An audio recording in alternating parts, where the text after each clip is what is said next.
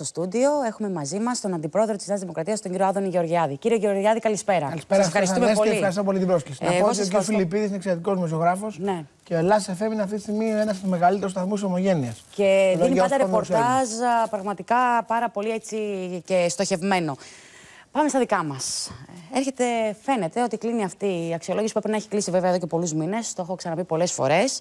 Με μέτρα ε, και αντίμετρα. Και θέλω.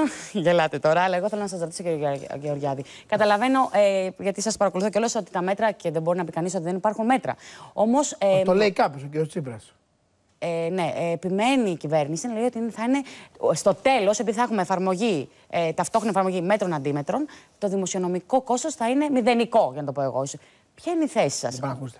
Η κυβέρνηση τι λέει; Λέει ότι αφού πιάσαμε φέτος 4% πρωτογενές πλεόνασμα, άρα το πιάνουμε και τα επόμενα χρόνια. Ναι. Άρα το 2% του ΑΕΠ επιπλέον μέτρα στην πραγματικότητα δεν είναι επιπλέον, γιατί θα είμαστε πάνω από το στόχο ούτως ή άλλως και άρα θα ενεργοποιούνται και τα αντίμετρα. Αυτό είναι το αφήγημα της κυβερνήσεως. Αυτό μένει να αποδειχθεί. Δεν θα ήθελα να γίνω μάτι κακών. Οφείλουμε να σας πω ότι εσείς τα παρακολουθείτε οικονομικά. Ήδη το πρωτογενές πλεόνασμα του 2017 δεν έχει καμία σχέση με το 2016. Είναι πάνω από 1,5 δισεκατομμύριο παρακάτω.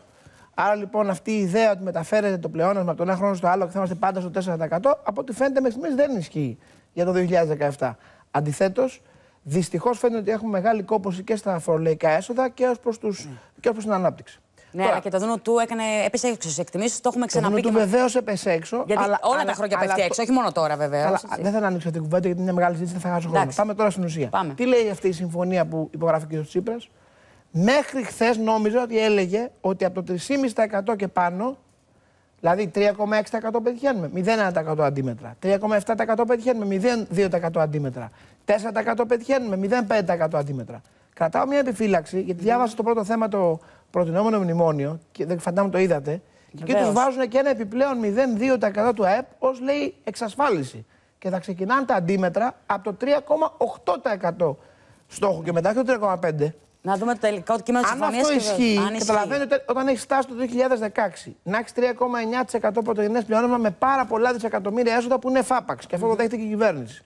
Και σου βάζουν για το 18 στόχο 3,7-3,8 για να αρχίσουν να μετράνε τα αντίμετρα. Ε, για ποια αντίμετρα μιλάμε τώρα, κυρία Κάτω, μιλάμε τώρα σοβαρά τώρα. Εντάξει. Ε, Πάντως στα αντίμετρα, εγώ θέλω να ρωτήσω και ποια είναι η θέση της ε, της Νέας Δημοκρατίας. Γιατί θα υπάρξουν κάποια αντίμετρα. Δεν ξέρω, δεν έχουμε δει το τελικό κείμενο της συμφωνίας. Μιλάνε για μείωση του ένφια, για γεύματα σε σχολεία, ε, μ, για μείωση των φορολογικών συντελεστών. Θα μπορέσει να ψηφίσει, θα ήταν ε, διατεθειμένη η Καταρχάς, πάμε αξιωματική λίγο- αντιπολίτευση πα- να ψηφίσει κάποια από αυτά; Καταρχά, για να μην αποφύγω το αρχικό ερώτημα. Ναι.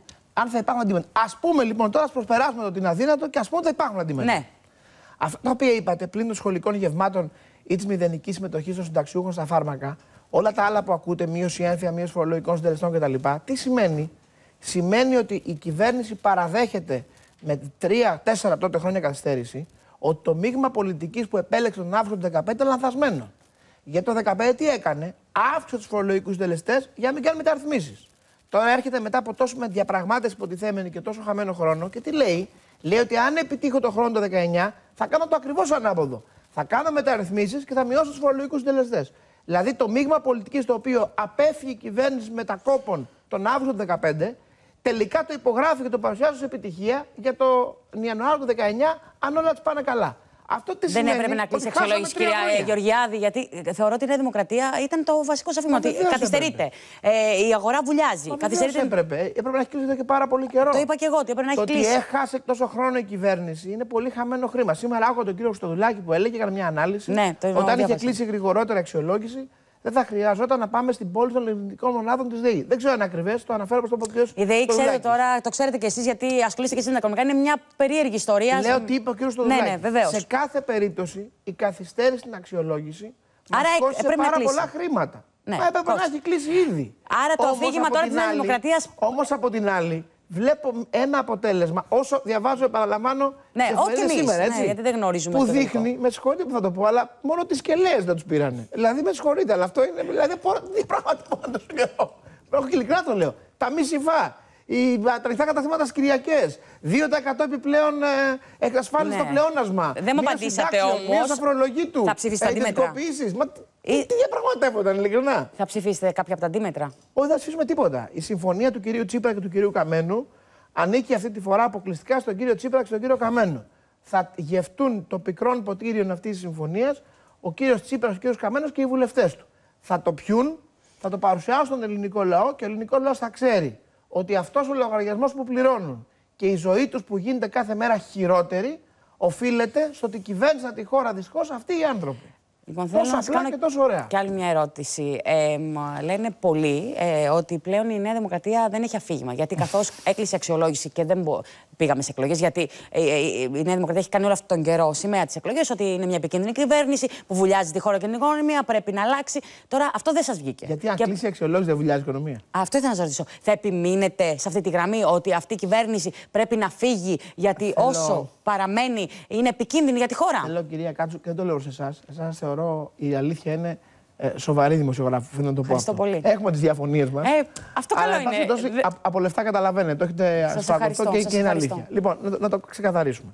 Θέλω να, να απαντήσω δύο βασικά επιχειρήματα του ΣΥΡΙΖΑ. Ένα, η Νέα Δημοκρατία είναι σε στρατηγικό διέξοδο. Το λέει στην Άκυρο Τσίπρας. Δηλαδή η Νέα Δημοκρατία που είναι μπροστά από 12 έως 19% δημοσκοπήσεις είναι σε στρατηγικό αδιέξοδο. Αλλά ο κύριος Τσίπρας που είναι μεταξύ 10 και 16 δημοσκοπήσεις είναι σε στρατηγικό διέξοδο. Μα κοροδευόμαστε. Λοιπόν, ποιο, τι λέει αυτό το αφήγημα, ότι η Νέα Δημοκρατία έχει επενδύσει στο μη κλείσιμο της αξιολογήσεως ναι. και άρα τώρα έμεινε χωρίς αφήγημα. Ψευδές. Ποτέ η Νέα Δημοκρατία δεν είπε ότι θα κλείσει αξιολόγηση. Εγώ προσωπικά έχω δώσει χίλιες συνεντεύξεις. Πότε κάνετε ένα γκουλ να τις βρείτε με τη σειρά, χίλιες. Και έχω πει χίλιες φορές ότι είμαι βέβαιος θα κλείσει οπωσδήποτε η αξιολόγηση, γιατί είμαι βέβαιος ότι για την καρέκλα τους αυτή δίθεν αριστερή θα τα ψηφίζουν όλα. Και αυτοί και οι βουλευτές τους. Άρα ποτέ δεν στήριξα το επιχείρημα των εκλογών στην άποψη ότι θα κλείσει η αξιολόγηση. Αντιθέτως, τους έχω μετρήσει, είναι ανθρωπάκια, για την καρέκλα ψηφίζουν τα πάντα. Άρα αυτό πίστευα από την αρχή και έλεγα από την αρχή θα κλείσει η αξιολόγηση. Πάμε λοιπόν. Άρα αυτό δεν παίζει. Στο δεύτερο, είπατε, παραμένει επικίνδυνος πρωθυπουργός ο κύριος Τσίπρας παρόλο ότι κλείνει η αξιολόγηση. Προφανώς παραμένει. Ο κύριος Τσίπρας δεν είναι επικίνδυνος πρωθυπουργός γιατί θα μας πάει στη δραχμή. Αν ήταν να μας πάει στη δραχμή και αν είχε ψυχή να μας πάει στη δραχμή, το είχε κάνει τον Ιούλιο του 2015. Είναι προφανώς ότι εκεί έβαλε την ουρά κατά τα σχέλια, άλλαξε το αρχικό του σχέδιο και έμεινε στο ευρώ. Και έτσι ψηφίζει τα μνημόνια δύο-δύο με τον καμένο. Ποτέ δεν πιστεύσαν να μα πάει στη δραχμή από τον Ιούλιο του 2015 και μετά ο Τσίπρας. Όμως τι πιστεύουμε, ότι ο κύριος Τσίπρας είναι παντελώς ανίκανος να κυβερνήσει η κυβέρνηση δεν κρίνεται, κυρία Κάτσου, στο να ψηφίσει κάποιου νόμου στη Βουλή. Αυτό είναι το εύκολο κομμάτι της διακυβερνήσεως. Το δύσκολο κομμάτι της διακυβερνήσεως είναι η εφαρμογή των μεταρρυθμίσεων στην πραγματική ζωή, στην καθημερινότητα, στην αλλαγή του τρόπου της ζωής μας και των επιχειρήσεών μας. Σε αυτό το τομέα, ο κύριος Τσίπρα είναι παντελώς ανίκανος. Απόδειξη. Ελληνικό. Το έχουν ψηφίσει 9 μήνες. Ακόμα περιμένουμε το δασάρι. Ναι, αλλά το ελληνικό Ακόμα ξέρετε εσείς καλύτερα γιατί το ξέρετε. Είναι μια ιστορία μαρτωλίνο ότι πάντα. Καμία ε... μαρτωλή δεν ήταν. Πολύ απλή ιστορία ήταν. Αν ο Πρωθυπουργός ναι, δεν ήταν αυτός που είναι, θα είχε λυθεί τώρα. Ούτε λοιπόν, τα πάμε Τρίτο θέμα. Από ακούς συχνά. Θα κουραστεί τώρα ο Μητσοτάκη να ζητά εκλογές. Θα κουραστεί η Νέα Δημοκρατία. Είπες, είπε γρήγορα το αίτημα των εκλογών η Νέα Δημοκρατία και θα κουραστεί. Φαντάζομαι το έχετε ακούσει. Ναι, βεβαίως. Γι' αυτό σας ρώτησα. Ότι το... ξεμένετε... Λέγεται ναι, ότι ναι, ναι, ξεμένεται από αφήγημα. Ναι. ναι, λέγεται είπα. Αυτό το λέει λοιπόν ένα κόμμα όπως ο ΣΥΡΙΖΑ που ζήτησε για πρώτη φορά εκλογές, σημειώστε, το Σεπτέμβριο του 2012. Ναι. Από το Σεπτέμβριο του 2012 μέχρι το Δεκέμβριο του 2014, σε κάθε του συνέντευξη ο κύριος Τσίπρας ήταν εκλογές. Του είπε κυρία Κάτσου ένας, θα κουραστείς παιδί μου να ζητάς εκλογές ή θα μείνεις χωρίς αφήγημα γιατί ζητάς εκλογές. Όχι. Ζήταγε εκλογές δυόμιση χρόνια. Και οι εκλογές γίνανε όταν ήταν να γίνουν. Δεν καταλαβαίνω. Γιατί ο Τσίπρας δεν κουραζόταν να ζητάει δυόμιση χρόνια εκλογές και να κουραστεί ο Μητσοτάκης; Σας φαίνεται ο Μητσοτάκης σε χειρότερη φυσική κατάσταση από τον Τσίπρα; Πιο αθλητικός είναι, πιο, πιο ρωμαλαίος είναι, πιο γρήγορος είναι, του θα τον πατήσει κάτω ο Μητσοτάκης. Αυτό έλειπε. Άρα σιγά τώρα μην φοβηθεί ο Μητσοτάκης τον Τσίπρα. Άρα υπό την έννοια αυτή, ναι. ούτε θα κουραστεί ο Μητσοτάκης να ζητάει εκλογές, ούτε θα κουραστεί η Νέα Δημοκρατία να ζητάει εκλογές για έναν βασικό λόγο. Που ακούστε ποιος είναι. Τον έχει πει ο Σοφοκλής στον Ιδίποδα Τυράννο. Εκεί που πηγαίνει ο Τηρεσίας μπροστά στον Ιδίποδα, τον ρωτάει. Μα τολμάς, λέει ο Ιδίπους στον Τηρεσία, τολμάς να μου πεις ένα τέτοιο πράγμα; Και απαντάει ο Τηρεσία. Ναι, αν σε αυτόν τον τόπο ακόμα μπορούμε να λέμε την αλήθεια. Λοιπόν, η αλήθεια είναι ότι ο τόπος χρειάζεται εκλογές, γιατί πρέπει να φύγουν, γιατί είναι ανεπρόκοποι, γιατί είναι επικίνδυνοι και όπως απέδειξε η χθεσινή ημέρα στη Βουλή, είναι και ντυλαδόροι, κάνουν και deal κατά τραπέζι. Κύριε... Ε. Άρα λοιπόν, για όλους αυτούς τους λόγους θα ζητάμε εκλογές γιατί η χώρα χρειάζεται εκλογές. Και τελευταία ερώτηση στον κύριο Γεωργιάδη. Ε, έχετε εσωκομματικά προβλήματα, γιατί. Τεράστια. Τεράστια. Γιατί. Είδα... Διαλύει τη Νέα Δημοκρατία, καθαρή. Ε, υπάρχει πάλι και γράφεται αυτό το μπλοκ των Καραμαλικών που βρίσκεται σε αντιπαράθεση με κάποιο άλλο μπλοκ. Έχετε και εσείς συνιστώσεις μέσα στη Νέα Δημοκρατία. Δεν έχει μόνο ο ΣΥΡΙΖΑ συνιστώσεις. Έχουμε το δικό μας Ρουβίκα. Ακούστε, κύριε Κάτσο, ακούστε. Να μιλάμε τώρα σοβαρά. Γι' αυτό. Όχι, σας ρωτώ γιατί ξέρετε αυτό. Δεν λέω για εσάς, τα ναι. λέω, τα ξέρω. Το ξέρω. Ναι, το ξέρετε τι γράφετε. Είναι μια προσπάθεια του ΣΥΡΙΖΑ να παρουσιάσει τη Νέα Δημοκρατία ότι είναι σαν αναταραχή εσωτερική και το Γεωργιάδης, η Γραμμαλική. Γιατί δεν πήγε ο κύριος Σαμάρο και ο κ. Γραμμαλής στην ε, Βουλή. Με τη σειρά, με τη σειρά. Ναι, δεν έχουμε πολύ χρόνο, γι' αυτό σας τα ρωτάω. Ένα κόμμα που έχει στις δημοσκοπήσεις συσπήρωση από 90 μέχρι 95%. Σε υψηλότερο βαθμό συσπήρωσης. Πόσα προβλήματα σωκομματικά μπορεί να έχει; 90 με 95% συσπήρωση έχουμε. Δηλαδή, αν δεν είχαμε σωκομματικά προβλήματα, πόση συσπήρωση θα είχαμε, 150%. Μα ποιος τα λέει; Είναι, στο, είναι πραγματικά έχει τα βάνη Όσον αφορά τους δύο πρώην πρωθυπουργούς, στείλαν και οι δύο επιστολή και είπαν ότι θα καταψήφιζαν τη συγκεκριμένη τροπολογία. Ναι. Ο λόγος που δεν ήρθαν όμως και κάποιοι άλλοι βουλευτές. Ναι, ναι, ναι, ναι. Είναι γιατί, όπως ξέρετε, η ονομαστική μπήκε πέμπτη βράδυ Παρασκευή ενώπιση του ημέρου. Πολλοί βουλευτές, κυρίως της επαρχίας, είχαν φύγει για να πάνε στην επαρχία τους, δεν μπορούσαν όλα να γυρίσουν πίσω και αυτοί που δεν μπορούσαν να γυρίσουν πίσω έστειλαν γραπτή επιστολή που δεν μετράει μεν στο αποτέλεσμα, καταχωρήθηκε στα πρακτικά της συνεδρίασης. Και είπαν θα καταψήφισαν την τροπολογία. Ενώ όλοι έστειλαν επιστολή, άρχισαν μετά οι θεωρήσεις στο ΣΥΡΙΖΑ. Διαφωνεί ο ένας, διαφωνεί ο άλλος, διαφωνεί ο άλλο. Ναι. τώρα, για να τελειώνει πλάκα. Εγώ δεν μπαίνω στην ουσία της τροπολογίας. Εντάξει, είναι για μια επένδυση. Μπορεί να ήταν και δεν ήτανε; Σας είπα, αν θέλετε να κάνουμε την ουσία, πολύ ευχαρίστως. Θα το μιλήσουμε σε άλλη. Όμως, εάν πίστευαν ότι είναι σωστό για την επένδυση, έπρεπε να το φέρει ο Υπουργός Οικονομικών στις επιτροπές της Βουλής να, το μιλήσουμε, να μιλήσουμε διεξοδικά για αυτή την τροπολογία, να καταλάβουμε γιατί χρειάζεται τροπολογία και θα το ψήφιζε και η Νέα Δημοκρατία, Μάλιστα. εάν πιθόταν ότι είναι σωστό. Η ιδέα ότι βάλα στα κρυφά σαν τον κλέφτη. Το τονίζω το σαν τον κλέφτη. Το ξαναλέω γιατί δεν καταλάβεις. Σαν τον κλέφτη. Ένα βουλευτή να πάει να καταθέσει την τροπολογία για να ξεπεράσει το γενικό λογιστήριο του κράτους. Και να έρθει η Υπουργός τρέχοντας και να την κάνει αποδεκτή. Και στο τέλος να έρθει ο Τσίπρας και να λέει δεν αναφέρεται σε κανένα επιχειρηματία. Και μετά να σηκώνεται ο Καμένος και να λέει είναι για τον Ιβάν Σαββίδη. Και όλα θα γίνανε, αυτό με συγχωρείτε, το ηθικό πλεονέκτημα της αριστεράς. Θα το λέμε από εδώ και μπρος και θα μας πιάνουν τα γέλια. Μάλιστα. Οι άνθρωποι κάνουν κανονικά deals με ό,τι αυτό συνεπάγεται και ό,τι ο καθένας μας φαντάζεται. Λοιπόν, και σε αυτό το σημείο να ευχαριστώ πολύ τον Άδωνη Γεωργιάδη, τον αντιπρόεδρο τον κύριο Άδωνη Γεωργιάδη, αντιπρόεδρος της Νέας Δημοκρατίας και αυτή τη συζήτηση. Θέλω να του κάνω και για τον κύριο Πολάκη ερωτήσεις. Αλλά ε, τώρα... Όχι, είπα μου κάνω τον κύριο Πολάκη. Ε, θα...